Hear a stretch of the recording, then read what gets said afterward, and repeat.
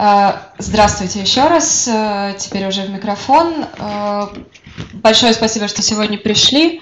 Нас сегодня немного, но лекция обещает быть интересной, и я очень ожидаю хорошей продуктивной дискуссии. Я буквально в течение минуты представлю наш проект. Э, меня зовут Анна Гольцова, я представляю голландский образовательный центр Nuffic NASA Russia.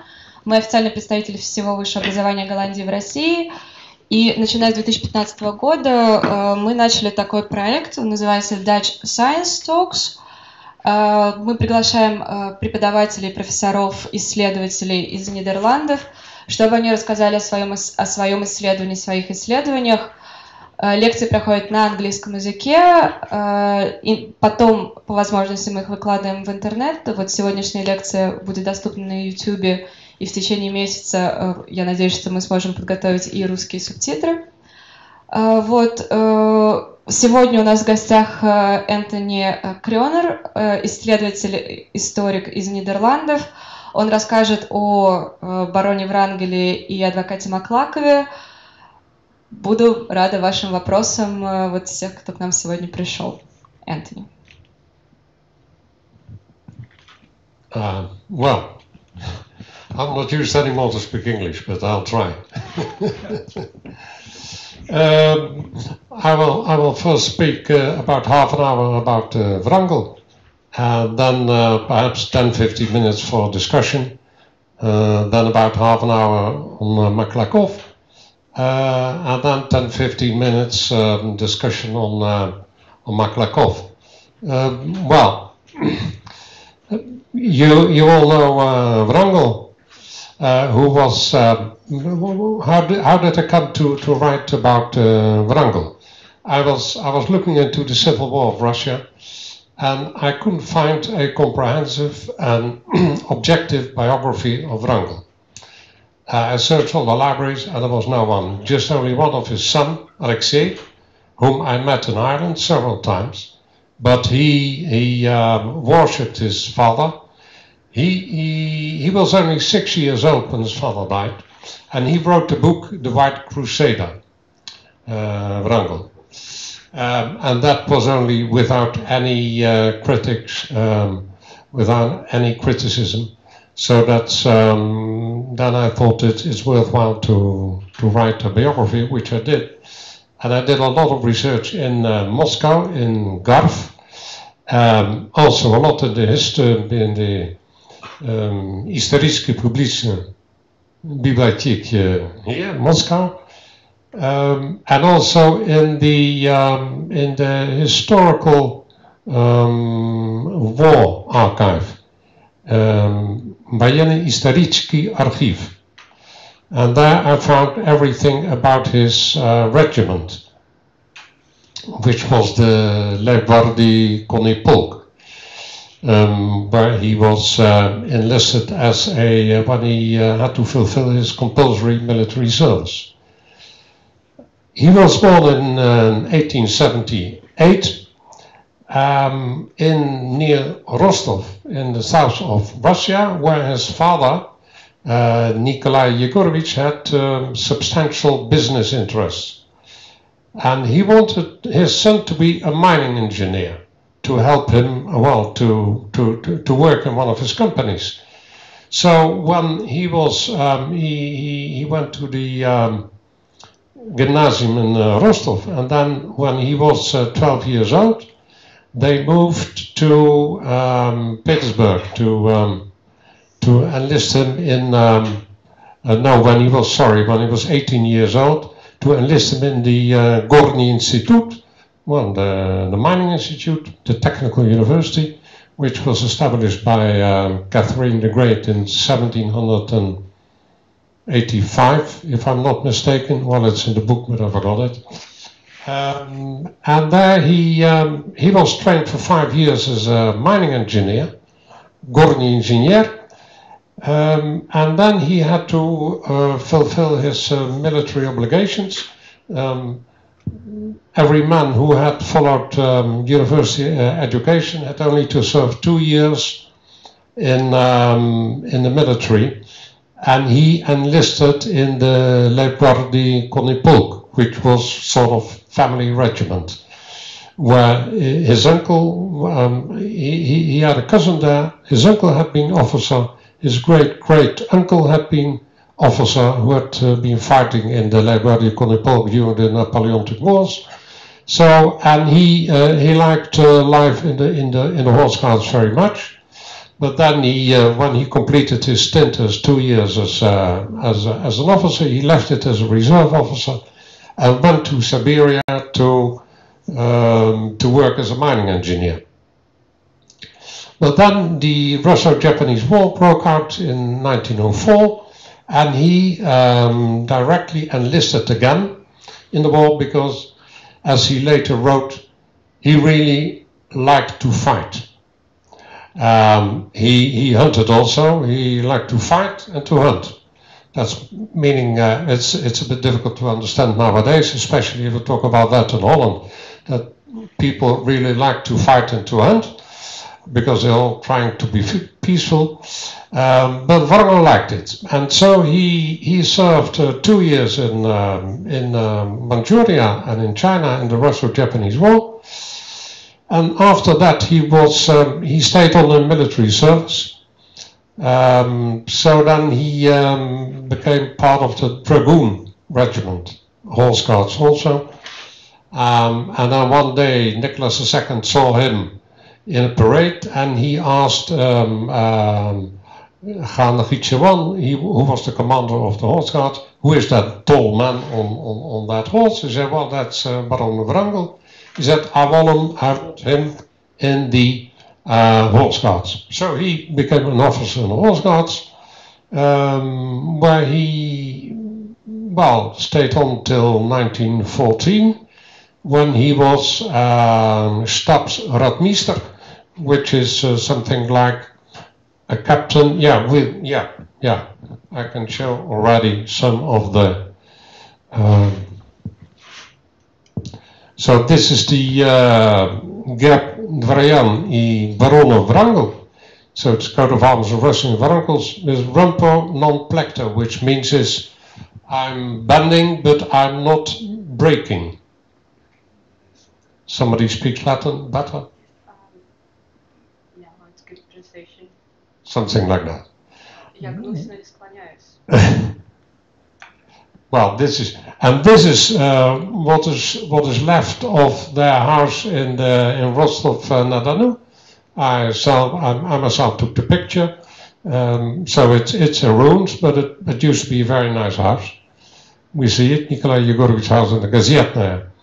Um, and this is um, the house they bought in uh, St. Petersburg um, on the Basseynaya, number um, 27. And I think, well, I think here is the flag. I think this is the house. I'm not quite sure, but because all the numbers have changed now, so I can't I can't say it uh, exactly. But but it, I think it is. I think that is the one. Um, this is the Nevsky Prospect in Petersburg, well, which is all very known to you. This is the mining institute, Gorny Institute in Petersburg. Um, this is the map of the Far East during the Russo-Japanese War, and we can see here, yet, um, where's the flash?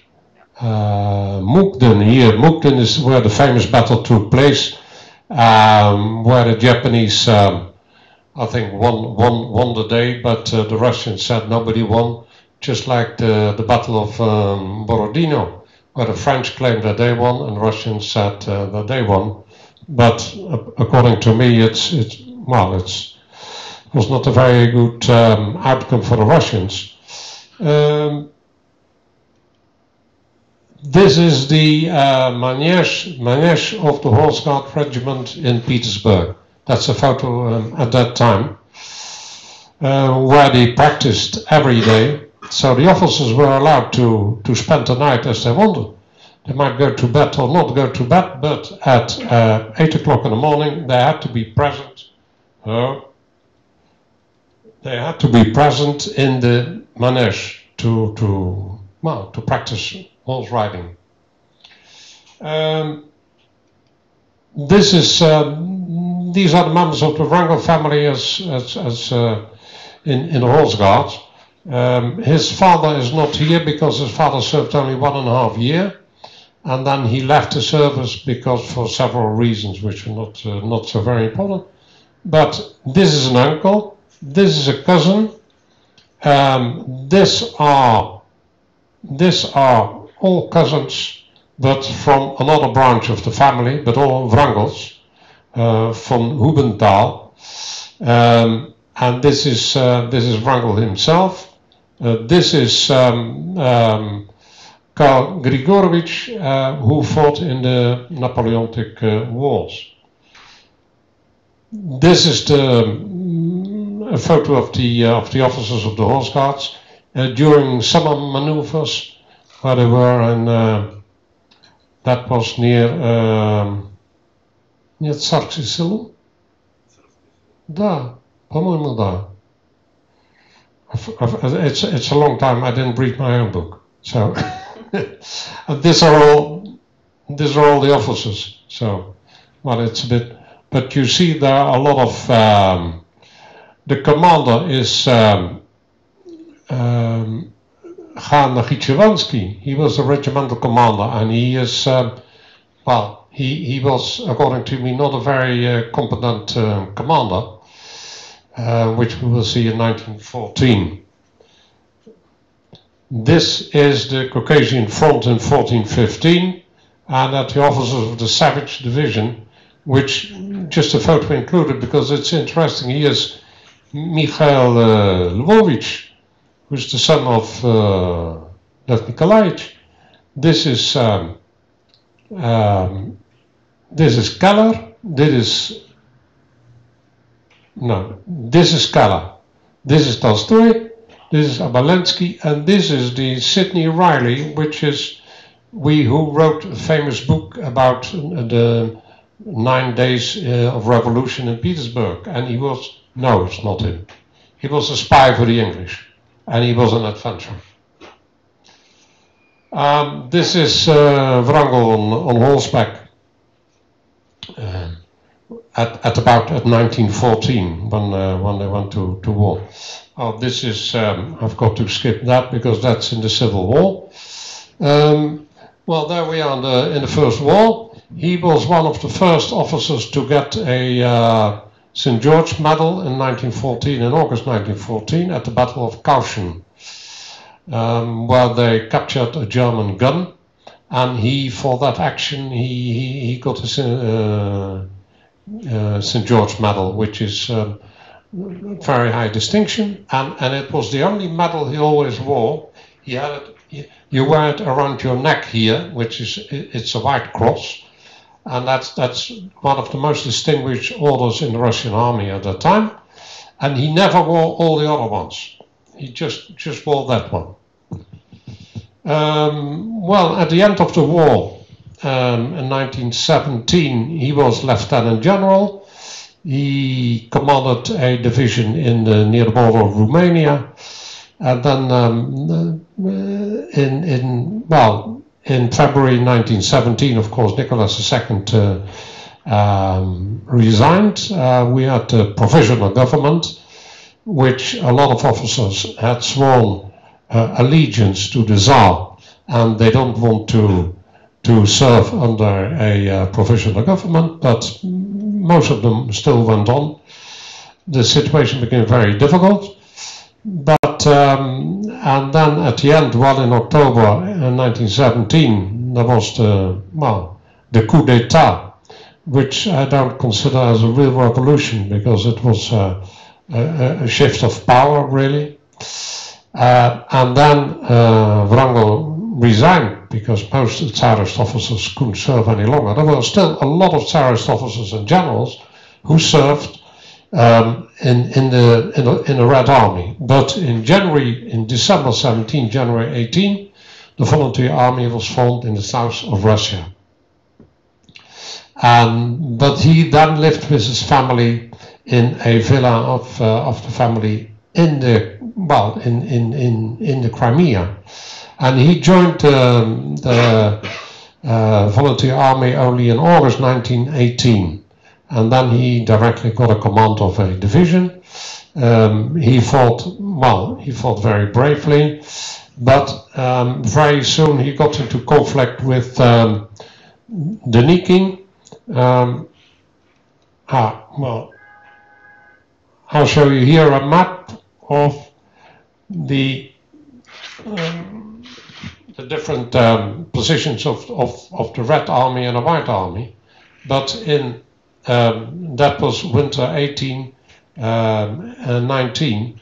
In October 19, the White Armies came to um, Voronezh and where's Kursk? Well, a little bit further, and they were about 150 kilometers, no, 200 kilometers from Moscow. Um, Wrangel had always insisted on joining the army of Kolchak, but that was already after the taking of uh, Tsaritsyn in June, uh, in June 19. Here is Tsaritsyn, well, later on Stalingrad, Volgograd. Um, they had already captured Yekaterinodar. Where are we? That's Yekaterinodar. And Wrangel proposed to draw the line here from Tsaritsyn to Yekaterinodar because they were they were defended by the Dnieper here and the Volga here. It's not it's not very clear, but here's the Volga. Um, but uh, Denikin said no, all armies will go straight forward to Moscow, Namazvu. And that's a famous directive. And yeah. Um, and then the three different armies didn't join, but they went straight on to Moscow. Then in the rear, um, there was operated Makhno, who was a um, an, an, anarchist, an Ukrainian anarchist, who really disrupted everything, and he had about 10,000 men at his disposal at the time. Um, and that was why Wrangel had proposed to, to draw the line Yekaterinodar uh, Tsaritsyn, to finish with Makhno, and to build up the reserves. And it's a, it's a pity uh, Denikin didn't listen to, uh, to Wrangel, because I think that that's, that's one of the causes why they lost. But eventually, there's a lot of discussion. Uh, eventually, the, the White would have lost anyway, because the population at large was in favor of the Red Army and the Communists. Um, and the majority of the people didn't want a restoration of the monarchy. And that's um, and, and, and you, you can't you can't return history, but that's one that's one of the causes of the uh, I think the propaganda the propaganda of the whites was insufficient and the propaganda of the of the Red Army and, and, and the communist regime was much better. And they promised all land to the peasants, which they didn't do, of course, but the peasants believed them. Um, uh, nevertheless, when he occupied, uh, when he went to the Crimea in March 1920 to succeed Denikin, and he um, initiated land reform here, here agrarian, agrarian reform. Uh, and he gave back, he split up the big estates and gave part of it back to the peasants. Um, but that was a little bit too late to, to, because there was a lot of resistance of a lot of people and he, he, he had to fight as well. So he couldn't really control this reform. But I think that if he had succeeded Denikin in 1919, much earlier, or 1918, then the outcome of the Civil War would have been could have been quite different. But that's always if history. Um, so there we are in 1920. Um, um, Wrangel, when, when the White Army was thrown back to Novo, uh, Novorossiysk, there were annihilated by the Red Army, but part of it escaped to the Crimea. And he occupied the Crimea, he rebuilt the army, and then the Reds, the Red uh, Army, neglected to annihilate the White Army right in the beginning. They should have done so. but they thought, well, there's only only a few few thousand men. We can deal with them much later on. Um, but then he, he held out till November 1920, till eventually the Red Army, Poland, uh, negotiated a peace with the Soviet Union, the Soviet Republic, and that meant that the Soviet army could um, distract a lot of troops straight to the Crimea, to southern uh, Russia, and they, he was annihilated in uh, 7 November up till 7 November 1920 when he evacuated 140,000 people in, um, in, in, I don't know how many boats, and they went to Constantinople here, uh, where all the refugees were eventually resettled in a lot of countries. The army was resettled in Yugoslavia or in the Kingdom of Serbia, Croatia, and Slovenia at the time, uh, in Bulgaria, and part of, part of the troops were dispersed in other countries, but as small units. Wrangel himself settled in Sremski Karlovci in Yugoslavia and Serbia. And from there on, he stayed till 1926. And then in 1926, he moved to Brussels, where eventually he died in April, um, 25 April 1928. And um, his, his family, well, uh, his youngest son Alexei and his youngest daughter, uh, Natasha, whom I spoke in New York, she died in 2013 when she was 100 years old. And I visited her in 2006. Uh, and then she was already 93 years old, but she was, um, she had a little bit trouble in reading. She read part of my manuscript, uh, and then um, she commented on it. But she was bright as everything, and she really um, she had a um, the, the the attitude of a real lady. Поведение, поведение, я не знаю, поведение дамы. Um, and then when I finished the book, she um, she lived the last three years with her son Piotr Basilewski in, uh, in New York. Um, and when the book came out, for the last three weeks, every night, uh, her son, Piotr Basilewski, had to read from my book to Natasha about, about her father. Um, and, and, and, and I think I, I think that that's the best uh, the best critic I ever could get because if a written uh, I've, I've had several rather good critics in literary um, and, and, historical journals. But for me, that was the most important critic that that his daughter wanted to read, be read every night. Um, my book. Um, so uh, Wrangel died. He he died rather suddenly in, in five weeks' time, and the family, his daughter, Natasha, and his son Alexei, maintained up till the very last moment when I spoke to him that he was poisoned by the GPU. But he, he died of um, tuberculosis. And at the time you had a, a you, you, had a, a, a very uh, dangerous form of tuberculosis and they called it oh yeah still working they called it uh, galloping consumption that means if you have this type of bacille bacilli, of course, you could die within a few weeks, which he act actually did. Um, because all the laboratory reports which I've seen, and I've, I've, I've consulted uh, a lung specialist in, uh, in Holland, and he said, well, if you have that sort of bacille, you're finished. Because there was no, at that time, antibiotics. Because perhaps you remember that uh, Fleming, the Scottish uh, scientist, he discovered only uh, in August 1929 uh, penicillin, which was the first antibiotic, and that was and that that was far too late to save uh, Wrangel because nowadays nobody is dying of uh, of uh, tuberculosis anymore. Well, perhaps some, but it's it's it's, it's rather rare. Um, so there you are. Um, the family still believed he was poisoned, um, and, and but but I spoke several historians in Russia who said, well, that's impossible. You, because you can't uh, infect somebody with Koch bacilli. Then you've got to, to, to keep under his nose every day during half an hour a small test tube with Koch bacilli and you've got to inhale them. Well, who's going to do that?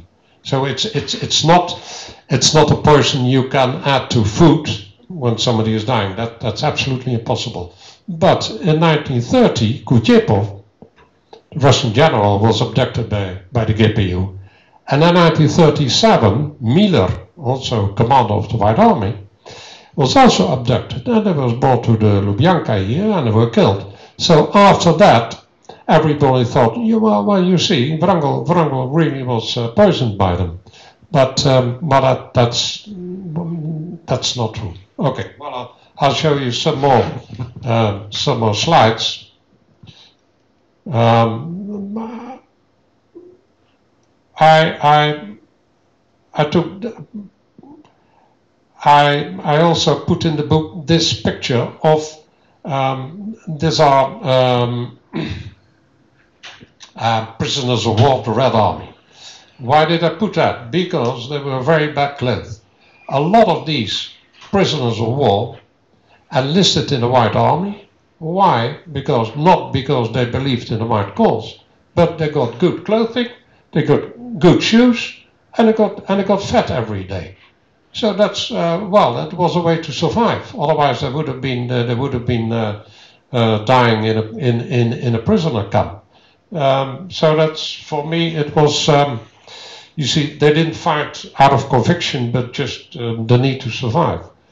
Uh, we've seen that. Um, this is, well, you see where the White Army came. This is October 19, just just near Tula, which is, um, well, you can see here the scale. It's about, well, not even 200 kilometers to Moscow. And then the Red Army got really frightened because that, that would have meant that if Tula with all the, the big arms factories was captured, that would have been a big victory for the White Army. But then they were thrown back all the way, and you see no Novorossiysk there, there they were pushed in the sea, really. Um, this is a poster I, I found myself, uh, I, as, as, I found it in Dom Knigi here in, uh, in Moscow, and that's Put uh, um, and he is, uh, he, is, he is constructing a road um, out of, uh, well, out of um, uh, skulls. How, how, do you say it? I forgot the word. In Russian or in Yeah, in Russian. Черепа. Черепа, ah yes. Well, yeah. skulls, skulls, I know the, the English was Черепа. And this is a, this is a banker, this is a general, and there's a priest. And they were all that were put here as a support for Wrangel. Um, well, that that's, gives you some idea. And this is uh, Wrangel with uh, who used to be um, um, head of Department of Agriculture before the before the revolution. This is Shatilov, his chief of staff, Pavel Nikolaevich Shatilov, and one of his best friends. Um, this is the Bolshoi Dvorets in Sevastopol, which you can't fight anymore because it was bombed uh, in the Second World War. And here you see, uh, I think Wrangels is, is, is here somewhere. Or it's him. I, I don't know exactly. But he's, he's, there's a parade going on. Um, I'll finish. This is a part of his, his, his staff. This is uh, money issued by, it's a banknote of 500 rubles um, as the secretary of Bernatsky, the financial department here, and this is Начальник кредитной части um, uh, Suvchinsky. This is Wrangel with his wife um, and the three children. Piotr is, is, is, this is Yelena, the eldest daughter, this is Piotr, and this is Natasha. Um, Alexei was not born yet. Well, this is a picture. This is a picture of Lukul. This was the yacht where he lived in Constantinople, which was sunk by an Italian freighter.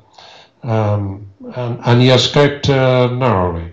This is uh, Wrangel in civil civil clothing, which is uh, exceptional because normally you always see him in uniform.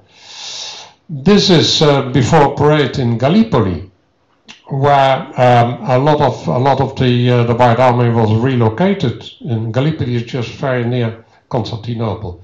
This is an orphanage um, in uh, Constantinople. This is um, Wrangel speaking at the um, at the Sabranie.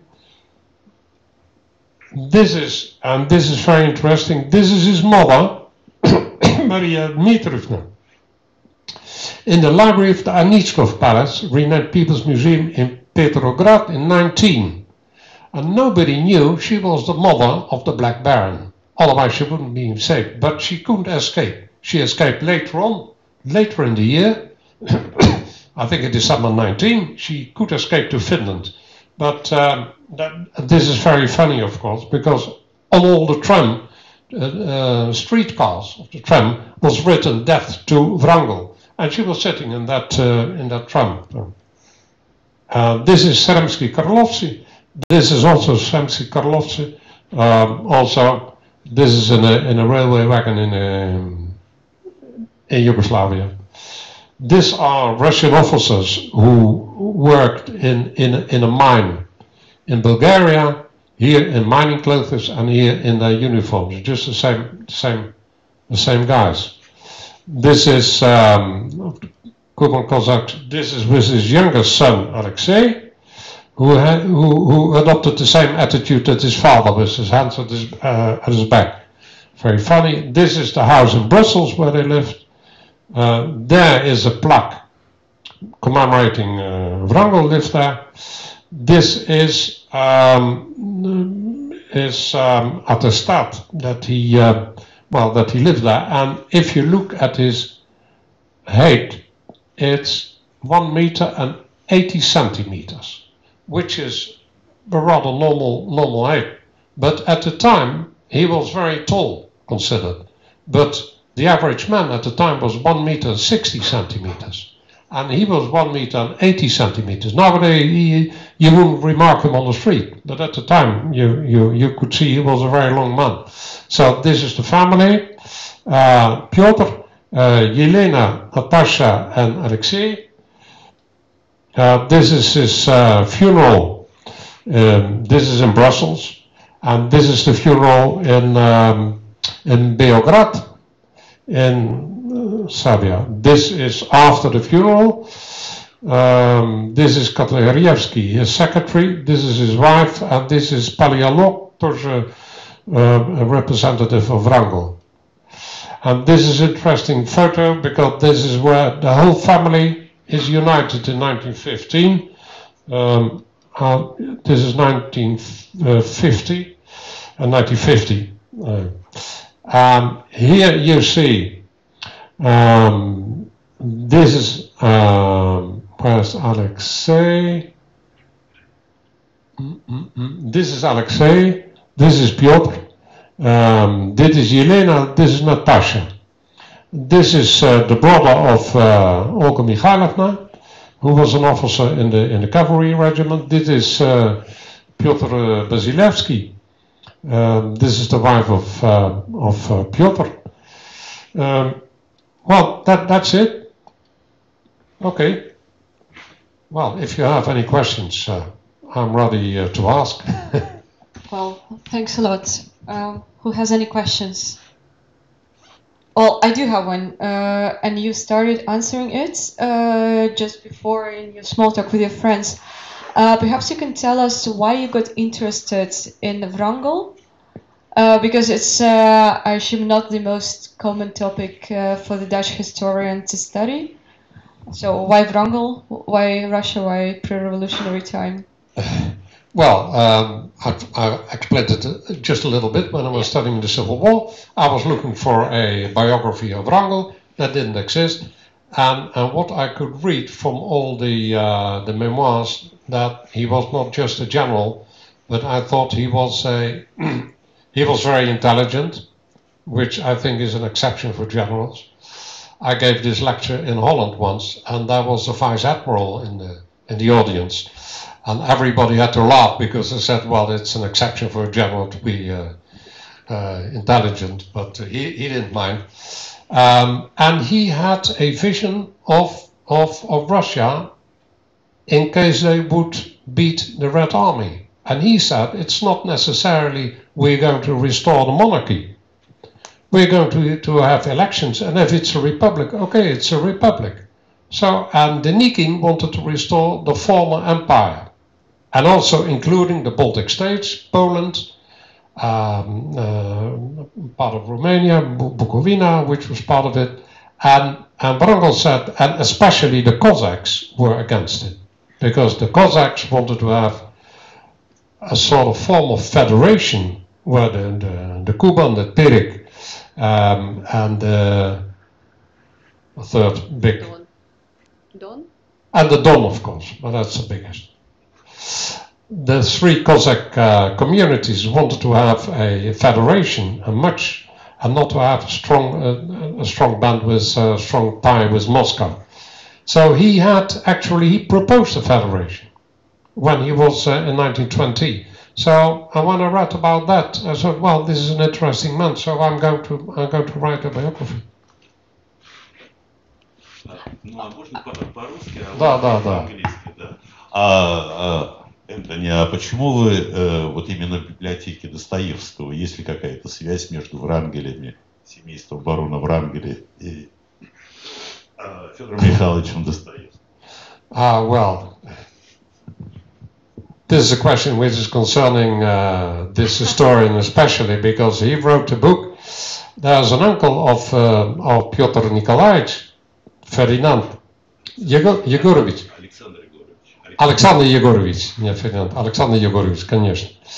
Um, who lived um, as a civil servant in Siberia where he met Dostoevsky. And he wrote a lot of letters home to try to influence to get a release, an earlier release for Dostoevsky, because he was banned from uh, the two capitals and he had to spend another, I don't know how many years in Siberia. Um, and he wanted to come back, of course. Um, and it's never clearly established, but I think I think the family of Wrangel, through their connections in Petersburg, managed to get Dostoevsky earlier released. So it's uh, it's pure coincidence that I'm giving this lecture here in the Dostoevsky Library. well, that's uh, uh, I, I didn't think about it, but uh, Arkady, uh, well, he, he of course he knows it, and, and, and he posed this question. So that's well. Еще один тоже. А, во время гражданской войны появилась такая пе- песня там «Белая армия, черный барон». Вот почему черный барон это Врангель. Откуда чернота? Откуда чернота? Um, no, no, no, no, no, no. Well, black has always been the color of um, something bad. That's for a start. The Don Cossacks, a lot of Cossacks, wore black uniforms. Происхождение. Неология. Происхождение. Да, ну черный барон. А вот что не беру. Да, он потомок Ганнибала. Да, вот, а, конечно. Um, but because he's, well, he's the, he, he was the fifth or the sixth generation from um, Gannibal. Well, with now you, you all know, of course, Gannibal, the the, the Ethiopian uh, man who came to the court of Peter I, uh, who married a Russian woman, and the descendants of them, um, well, Russianized all. And you could still see in his um, in his face, especially in the face of his brother Nikolai, Nikolaich, uh, the eyes which came were rather protruding. Um, but I wonder if they called him the Black Baron because of his uh, relation to Gannibal. I, I, I just don't know, but but but you had well, there's never been there's never been a, for me a good explanation why he was called Chorny Baron. I just don't know. Uh, well, and just from a, a personal interest, you said that uh, his daughter was reading your book, and uh, she, well, she wanted her her son to read uh, this book for her, but um, what was uh, what were her comments? Uh, has she shared? Maybe she had some uh, remarks about you've written or some personal. Um, when I visited her in 2000 2006, I had only half of the book ready, and she read it, and she made just minor remarks as well as far as that is concerned. Well, this house, the house where the family stayed in 1918 in the Crimea, um, had a certain name, and she gave me the picture of that house. And the house doesn't exist anymore because when I was in the Crimea in 2009, no, 08, Went to look for the house and it had been destroyed six months before out of a new apartment. New apartment building was being constructed. Horrible. Um, but then um, she didn't say she she she didn't criticize really my manuscript part of it what she had read and um, I, th- I think no on, on, the, on the whole while she maintained that he was poisoned. She said you're not right. He was absolutely poisoned. Uh, so I'm sorry Natasha Petrovna but according to me he's not poisoned. But she didn't want to hear that because it's much better to hear that your father's poisoned because if he wasn't poisoned then he would have uh, lived much longer. He was 49 years old not even 50 years old in 1928. But he had a weak health. If you read, if you read uh, through all the documents and the letters to his wife, which I've been reading in the Hoover Institution in Stanford, then he's complaining. I'm already two two days. Um, I'm, I'm staying. I'm staying inside because I can't. I can't walk outside. I'm feeling very bad. And he had. Um, he, he, he had been wounded so called by a shell shock. And a shell shock is something very serious because your nervous system is wrecked for a time. Mm. And you can't, you can't help it because, uh, and a lot of people in the First War, in the trenches, were also shell shocked.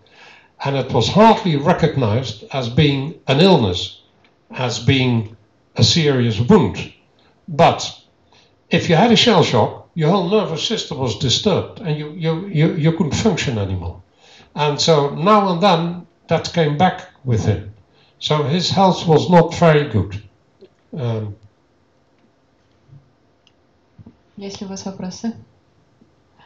Okay, I think we can move on to Maklakov. Yes, okay. Thanks. Well, there's, there, there are no slides for Maklakov. I've uh, um,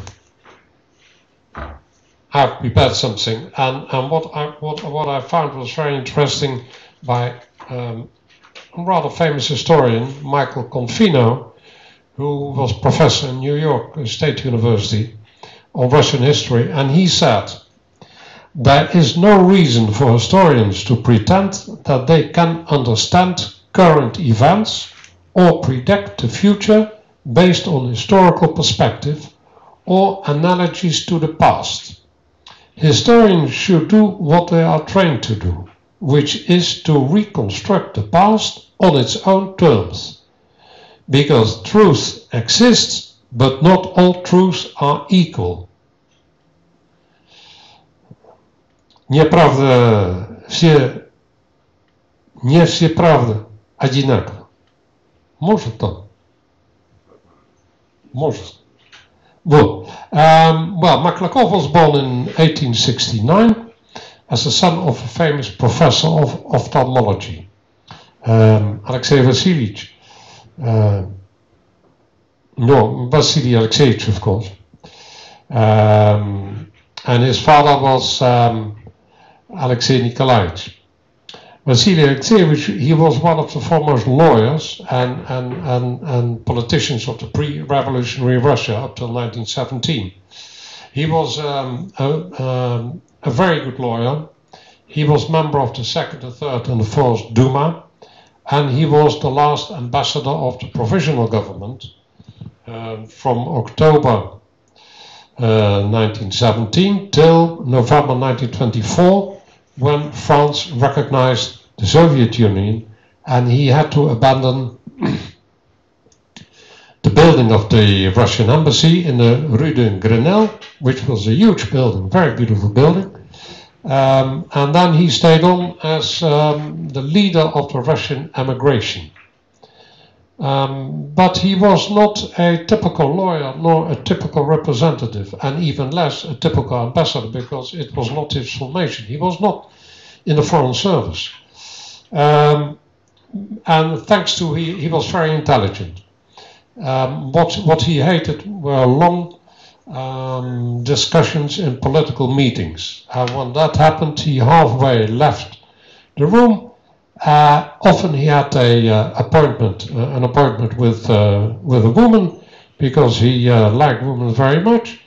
Um, I've, I've been reading uh, I've been reading several letters of women to him, which you can find which in the, in the отдел письменных источников of the uh, Государственный исторический музей in Moscow.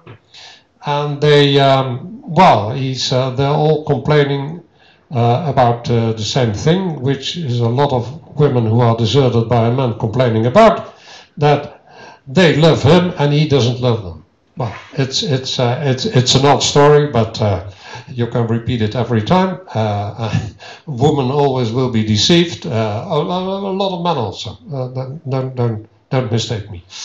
Um, but so he left often polit political meetings and also often political meetings of the Central Committee of the Cadet Party, of which he was a member from October 1905 onwards. Um, so he was one of the, um, well, he, he was one of the, the most famous um, cadet leaders. And apart from many articles by him and on him, um, and a short bio biographical outline by Rasputin Aldanov in Paris, there was no, again, there was no serious biography on Maklakov. Um, so I, I decided to, to write an autobiography of, of a great Russian statesman, great Russian man, and in this case Vasily Alexeyevich uh, Maklakov. Um, and um, I must say that I was helped very much uh, in this um, endeavor by Viktor Shevirin, who is sitting here uh, next to us, um, because he has been writing a lot of articles on Maklakov. He is one of the few people in Russia, I won't even talk about foreigners, who can decipher his handwriting, his portrait. I found many letters complaining to Maklakov, saying, please Maklakov, Vasily Alexeyevich, don't write your letters anymore. Let them type by somebody because I can't read them, my wife can't read them, my children can't read them, my staff can't read them, so we've got to guess half, we've got to guess half of the of the content. And that's not that's that's not that's not one letter. I want three or four. Um, so he, um, I tried to read a letter of Maklakov to Tolstoy, and that was about a um, um, um a religious, um, well, uh, a believer who was sent by Tolstoy to Maklakov. They knew each other very well. Um, and Maklakov defended this man, and he told about the process. I've come as far as the first two sentences, and then I'm picking up half of the words in, in the rest, but I'm lost. I showed it to a Russian lady in The Hague in Holland. She said, I can't read. Nobody can. But only Victor Shevirin can read it. And when I met him um, two and a half years ago, three years ago really, um, and we talked about Maklakov, and he said, Why don't you write the biography of Maklakov? So I couldn't refuse it, which I'm doing now. But um, um, the moment I started reading on him much more than I did already, because I wrote about his discussion with Milyukov in Paris on the fate of Russian liberalism, the more interesting he becomes. Uh, and as uh, Victor said, he was a многоэтажный человек. And that I, I found that a beautiful expression because it's a house with a lot of floors. And, and there you are. You go from one floor to another. And every time you discover something different, something new. Uh, and, and that's, that's really him. That's Makhmalakov. He was, um, apart from a good lawyer, he was a very good speaker. He was what they call a Zlata Ust. Well, every Russian knows what a Zlata Ust is. He was a, uh, no, Krasnorichivi. But which is, which is more, Zlata Ust, somebody explained to me, is really a gift by God. It's not something you can learn, it's a gift by God. It's something more than just uh, just a good speaker. He, he really had that uh, he had that uh, gift. Um, well, he is he is he is well. What I said already here on Dobrovolsky and Professor Dobrovolsky, who worked in 1906, much respected Vasily Alexeyevich, uh, asks you not to write in the future your letters yourself, as nor I, nor any of my sisters, nor even members of my family are able to decipher your handwriting, and we must guess what is written from one half to content. Um, now, he was born in Moscow in 1869. He went to the fifth gymnasium. Afterwards, he went to university, where he enlisted in the faculty of, um, of, of science for three years, but he, um, he, he found it was not to his liking, so he shifted to the historical faculty, um, where was the famous Professor Vinogradov, already professor, and he finished his degree in four years. Uh, and Vinogradov wanted him to stay on and write a uh, doctorate. Uh, Dr. Istoritsky, no. But as he had during his student days, he had many problems with the police and authorities because he had taken part in student meetings which were partly forbidden and he was twice expelled from university but thanks to the influence of his father the famous ophthalmologist who had a lot of really influential clients all over Moscow he was admitted again two times to university but in his personal file, in the minister's van Nutteren uh, Adeleni there was written that he was um, a man to watch. And he knew that he could never pursue an academic career because that was, was his, in his um, um, in his um, in his personal uh, CV at uh, police. Um, but he had he had not only um. Um, he had, uh, there was uh, there was a man who um, who wrote that um, I was at the fifth gymnasium at the same time as Makhmalakov. He was one year younger, but um, his his moral qualities I don't uh, I don't um, appreciate at all because he always wanted to draw attention to himself uh, and he had only one thing in mind his own career himself. And so he had detractors as well. He had, he had people who, who, who didn't like him. Um, so that that's what in what in an objective uh, biography should also be be noted because uh, otherwise it's uh, it's only only praise. Um, in, 18, uh, in 1889, he visited with his father the World Exhibition in Paris, for his 100 years revolution. And from that time on, he is, um, he is enthusiastic about Rus French um, political life, общественность. I find obsessionist and obsession It's very difficult to translate in English. I can't find the right word for it because it's it, it's somebody who's active in society. But what is that? That means uh, uh, representatives of of, of um, independent um, professions. Well, well, medical people, medical specialists, uh, doctors, uh, journalists, lawyers, uh, engineers, whatever you want. Um, and obsessionally evil is somebody who is actively involved in society and who wants, in general, to improve it. Um, but he is he is smitten by by the French um, public life. When he uh, when he finished his um, his um, university degree in history, he said, "I wanted to, uh, to not to bury myself in books." I want to have a function in society. So he decided to study uh, law. Um, and that was in November 1894. The next explanation was in March 1985. That gave him three months to study a course of four years of law.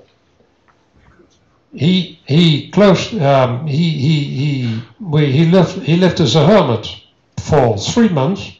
He worked 18 hours a day, and he, he put on a notice on his on his uh, on his on his door which, which said, "Гостей прошу более двух минут не сидеть." Well, so anybody could come, but after two two minutes they were kicked out. And in three months' time, he passed all the examinations in the law faculty, which normally takes three four years. Uh, then he became uh, a lawyer with um, Not Plevako, who was then already a very famous lawyer. He could have entered uh, the office of Plevako, but he went to Lednitsky, um, a Russian Polish lawyer. Um, he defended a lot of um, a lot of a lot of people, um, and his oratorical gifts, his latte he was so famous that people went to um, to a uh, to a court sitting, to a really uh, a judgment, only to hear Maklakov. Not just the content of the case was not important; they just wanted to hear him because he was so he was so fantastically speaking. And he said, "I tried to convince the judge, the jury, and I'm not speaking to the public. I want to convince them of the lawfulness because." He had three principles that zakonis, spravedljivost i svoboda.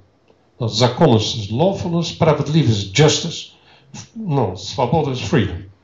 And that were the, um, and, and zashita zakonnosti. That was for him the most, for him the most important. Um, and, and that you see coming back in all in all his speeches, his his, his uh, um, juridical speeches. It's coming back that he is um, referring to the law, and he's referring to the law especially in regard to the government. He said the government must stick to the law. If the government is not sticking to the law, who, what are they expecting of us, simple uh, citizens?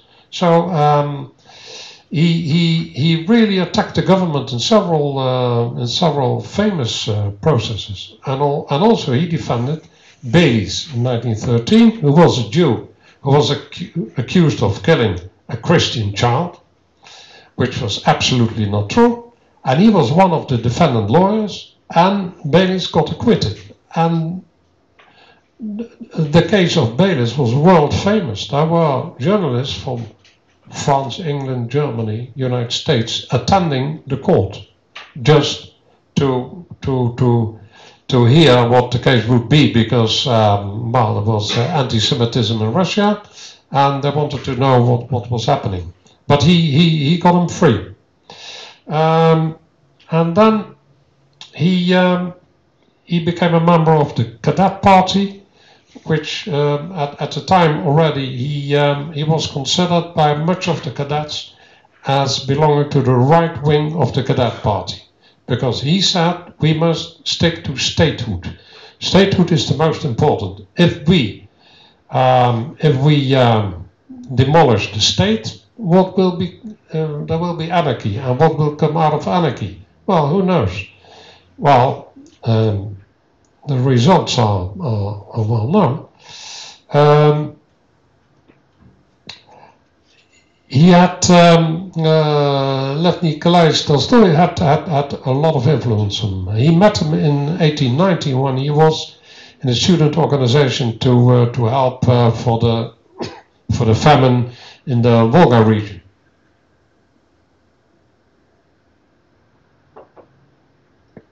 And from that time onwards, he um, came very regularly at Yasnaya Polyana, where he uh, had long talks with uh, Tolstoy. Uh, and he was really a friend of the family. And his sister, Maria, was a great friend of one of the daughters of Tolstoy.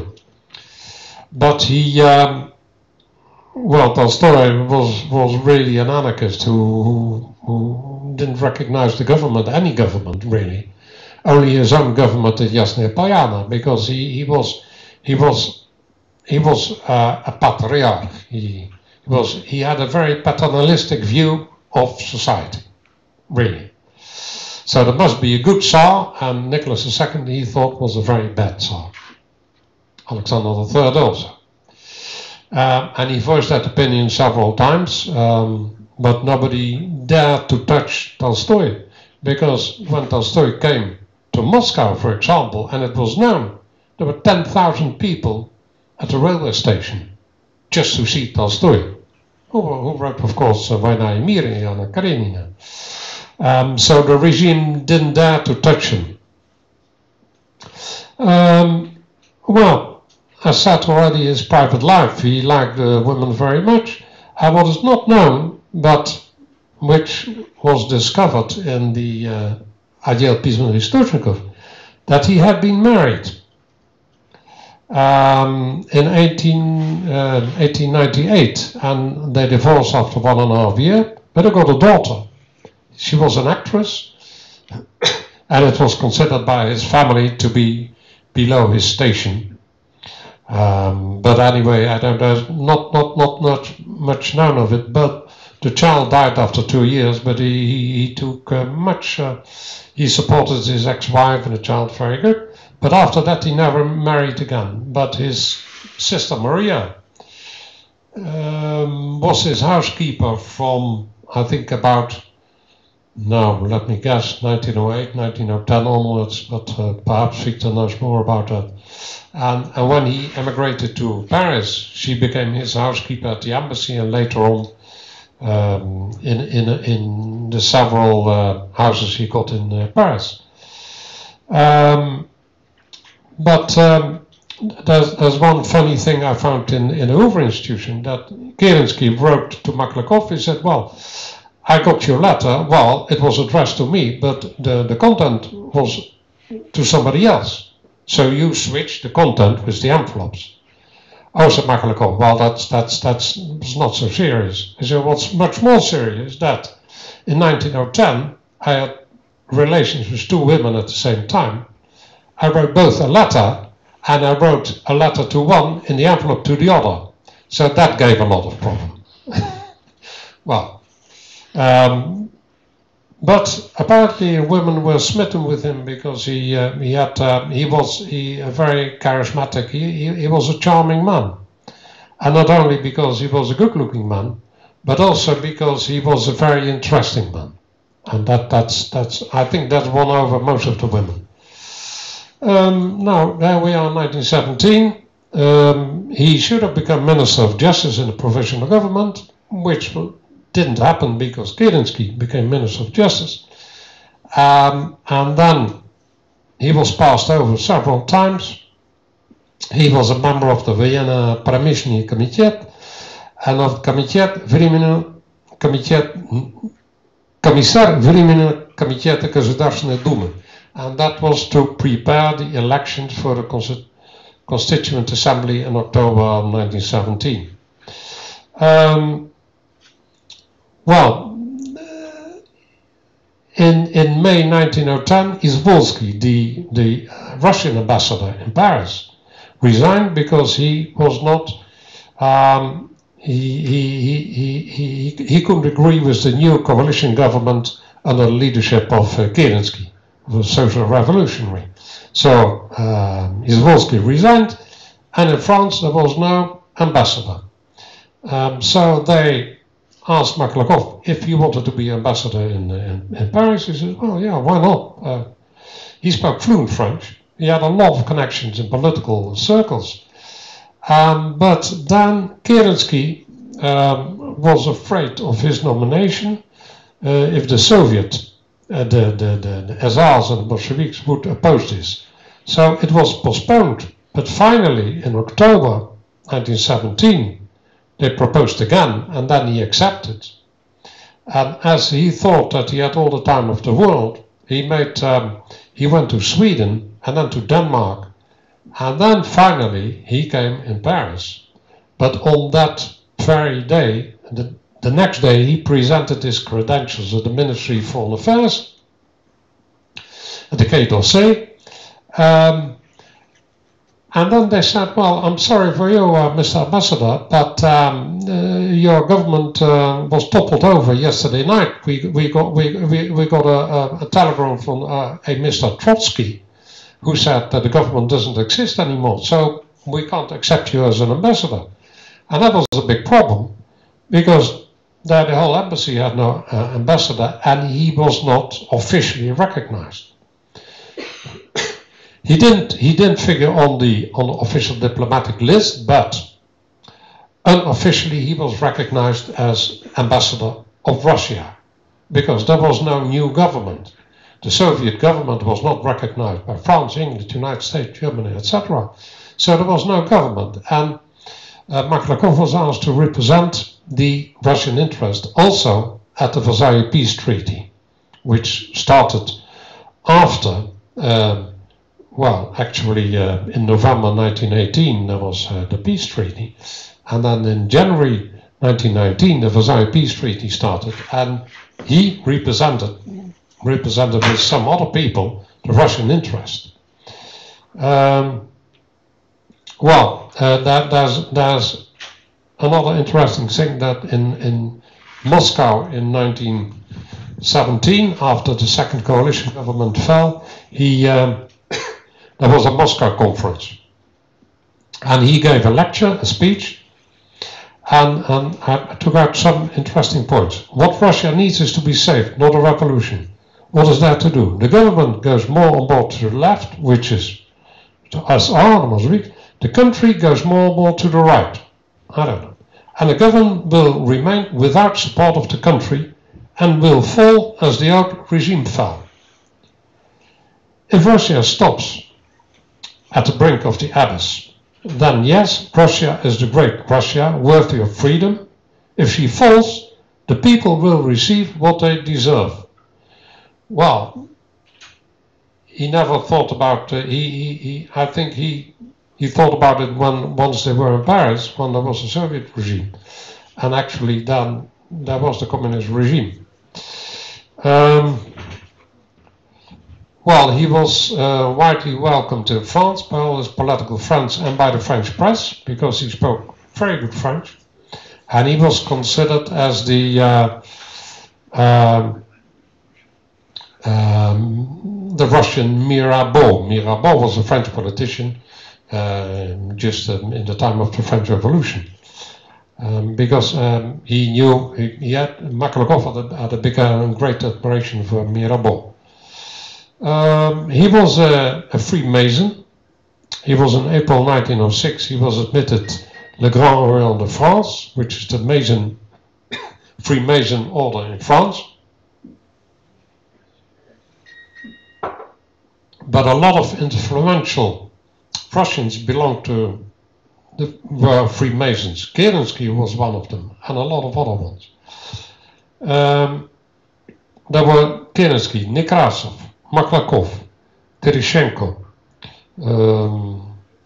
He was the central committee of the central of the SD, Social Democratische Party.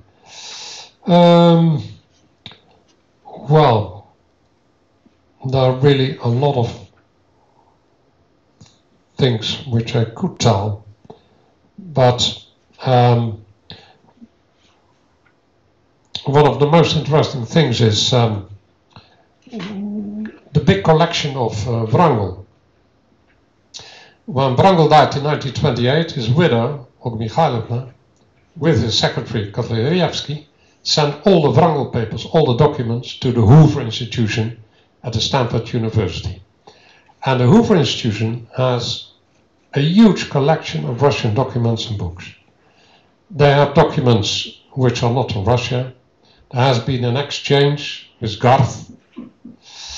Um, and Maklakov sent all his papers from 1917 onwards also to the Hoover Institution. And what's in the Hoover Institution also is the archi uh, archive of the Okhrana. Okhrana was the secret police of Russia, and in Paris was the headquarters of all foreign зарубежные отделения охраны.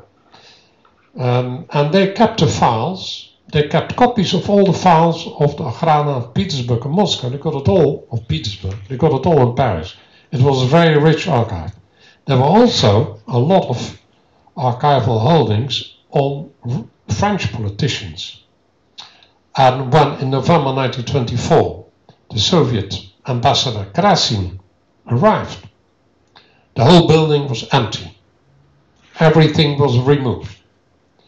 All the pictures of the Tsar family, of all the former ambassadors, they were all they had been removed by the, the well by, by, by, by Russian monarchists and by Russian uh, politicians who lived in Paris.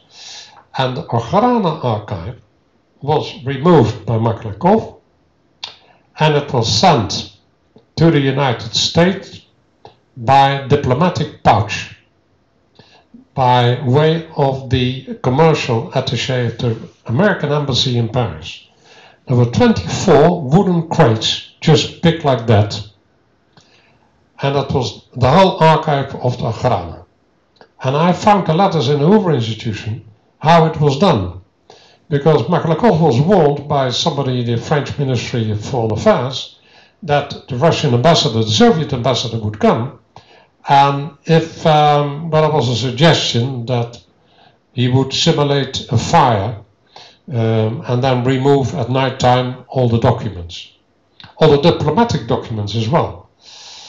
Um, so they, even in daylight, they loaded uh, trucks full of all the documents and they were, shipped in, in part to the United States. Um, and, and Maklakov said um, later on to the French press when he was uh, interviewed, so why is the whole building empty? And all the papers. He said, well, we had a, we had a big fire in the in the cellars, and it, well, we could distinguish it, but we had to throw it away, everything. And uh, he was lying, of course, but they didn't want it to fall in the hands of the, the, the Soviet government. Krasin was a member, um, he, he was a very famous Bolshevik. Uh, he had been um, ambassador also in England, and then he stayed on for just half a year in Paris, and he was replaced with somebody else. But um, let me tell you something about um, about his personality. Uh, Vinaver, Maxim Moiseyevich Vinaver was a leading cadet and a friend of Maklakov, and also a very good lead, very good lawyer. And his wife Rose writes about Maklakov. They they had they were fairly well off, and he could buy a house in Paris, a big house where they united a lot of the uh, Russian uh, community. And she tells about um, uh, Maklakov. she said, Maklakov as a defendant lawyer spoke fast and simple, proster, but he captivated the audience and we listened with strained attention. Um, in Paris, he was sometimes at our place, the house of the Vinavers. At one time, we had a breakfast with well-known French people, and we invited Maklakov. He was from the very beginning the center of the conversation, as he had been more or less involved in the murder of Rasputin to summer 1916. He described it in such an interesting way, way that the French were absolutely in raptures. She said it was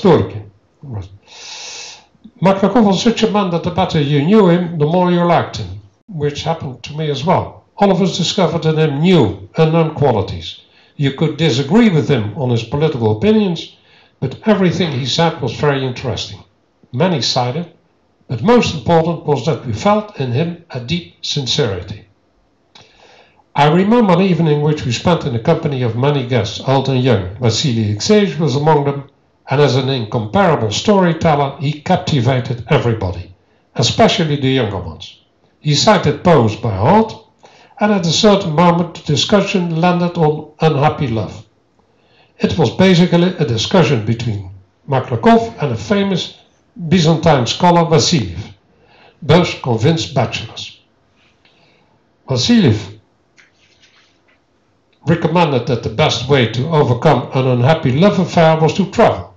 But Vasily Alexeyevich maintained that any normal man could handle lightly such an affair.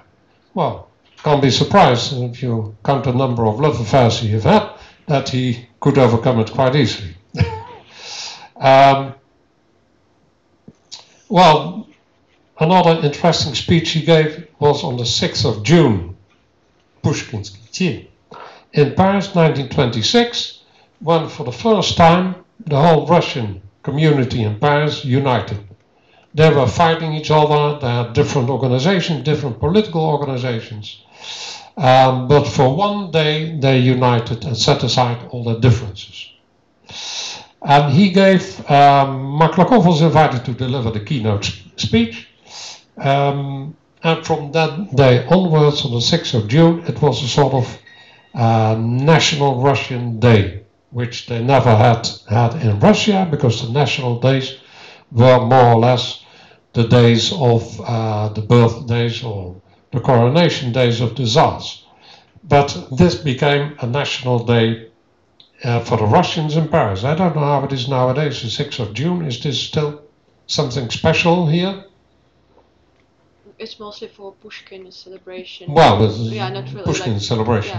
Yeah. yeah, but, but not, not a sort of national. No. No, no. But um, he, he gave the keynote speech and he said that, um, well, we are here united. Um, we have been fighting the regime for all we were worth till 1917. There were many shortcomings in the regime, in the Gasudarster, but still we never realized that we had a Gasudarster, we had a statehood. And we, now that the statehood, the Gasudarster, is destroyed, we just now realize what we miss, And what a lot of Russians perhaps will miss. He couldn't speak for the Russians who were in Russia, but he um, he said it's it's a pity we never realized it that we still had a structure, a state structure, which was destroyed. Um, so when um, well this is about the um, the Grana files.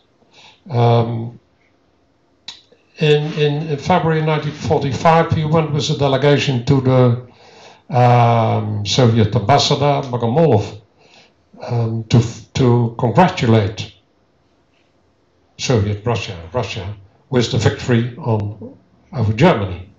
But his visit was widely criticized by a lot of Russians in Paris because much of them had hoped that the Soviet regime would be destroyed. They hated the Germans. Well, that, of course. But at the same time, they hoped that the Soviet regime would be destroyed. And for Maklakov, who was really the unofficial leader of the Russian community in Paris, to go to the Soviet ambassador congratulate him was, uh, was, was absolutely not done. So he was criticized by a lot of people, but he was also um, supported by a lot of other people who said, well, we've got to, we've got to set aside all the differences. Soviet Russia is Russia, it's our motherland, and perhaps we can come back one day. Um, but let's hope so. Um, and well, he, he, he wrote his memoirs um, already in Paris. He wrote about um, the First Duma, Первая Государственная Дума, Вторая Государственная Дума, Из воспоминаний. Um, all his his um, his lectures and all his uh, all his all his judicial lectures were uh, compiled in a very beautiful edition in 49 when he became 80, and it was edited by Aldanov, Mark Aldanov. Um, I've got them at home. I bought it in Paris several years ago. It's a beautiful leather bound, uh, and it's it's um, it's really a joy to read in it because he is what you read in all his speeches that he is coming back to законность справедливость, and that state must obey to the law. And if the regime doesn't uh, respect the law, where are we going? Okay.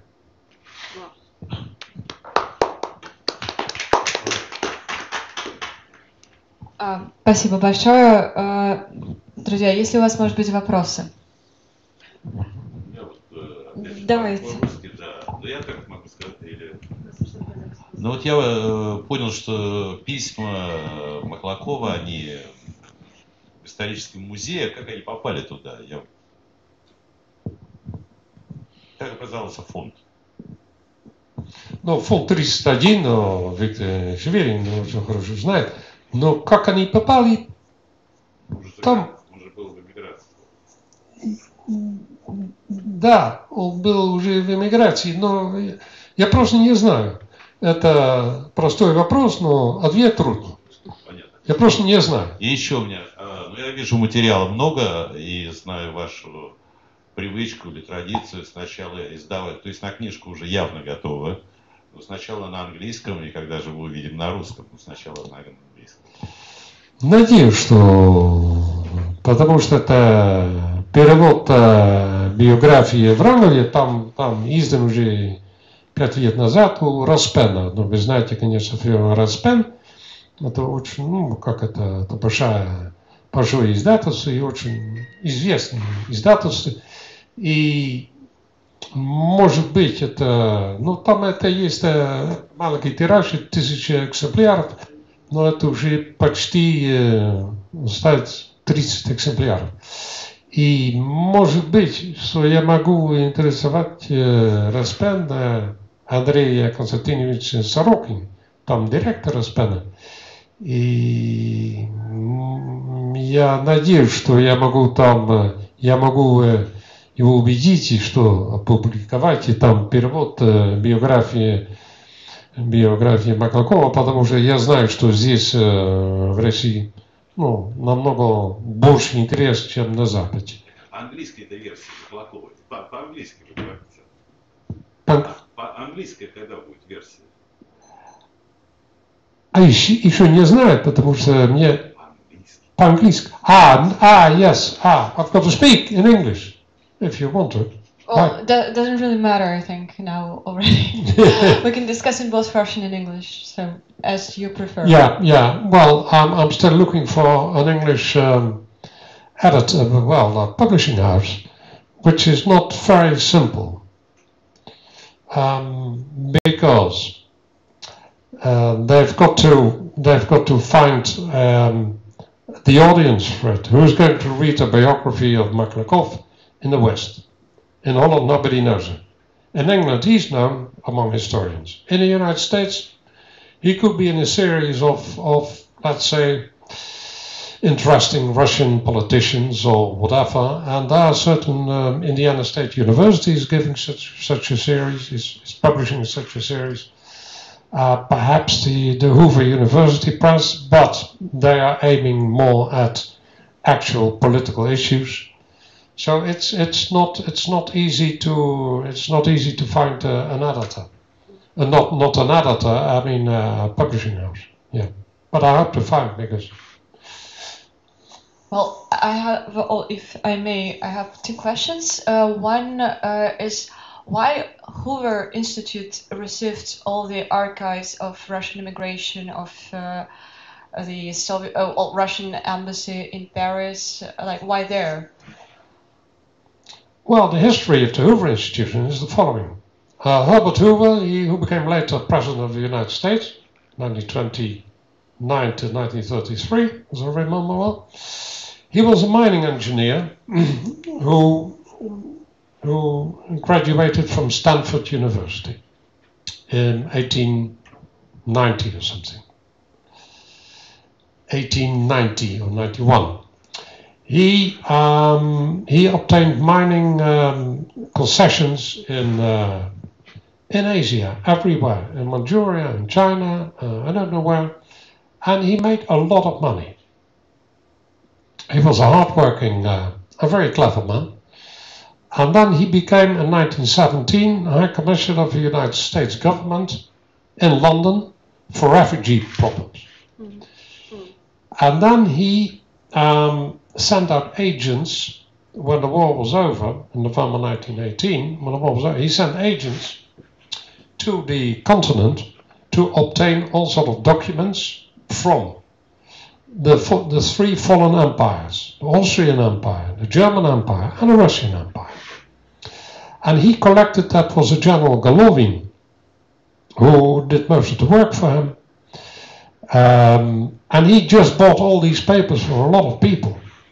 And then in the 1930s, when with the rise of fascism, fascism of Hitler, a lot of people were afraid that if the Germans would come to France, well, they did come to France, they sent out papers because a younger generation of Russians were not so much interested in, let's say, in, in, in all sort of personal documents or official documents.